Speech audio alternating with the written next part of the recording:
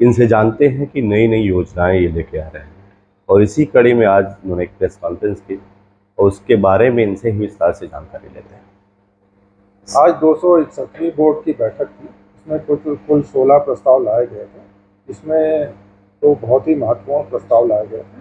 जिसमें बनारस में एक नई योजना शुरू करने का निर्णय लिया गया है। एक एक नई टाउनशिप बसाने का निर्णय हुआ है। एक सौ सत्तानवे हेक्टेयर भूमि पर। ये वहाँ की सात गाँव इसमें शामिल होंगे और ये बनारस सारनाथ मार्ग पर स्थित है। इसके साथ साथ अयोध्या में हम पहले 1407 एकड़ की टाउनशिप से काम कर रहे हैं। उसी से सटी हुई लगभग 200 हेक्टेयर और भूमि लेने का निर्णय किया गया है।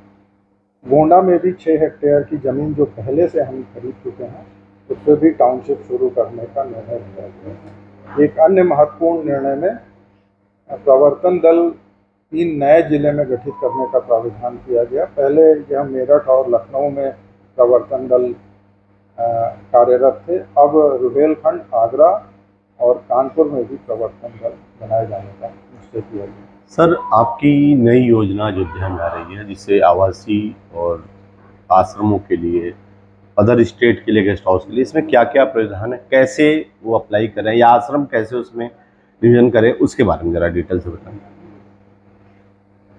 योजना में सभी राज्य अतिथि गृह और इंटरनेशनल हाउसेस के लिए भूमि का प्रोविज़न हम लोगों ने कर रखा है। साथ ही साथ मठ और आश्रम के लिए भी भूमि चिन्हित की गई है।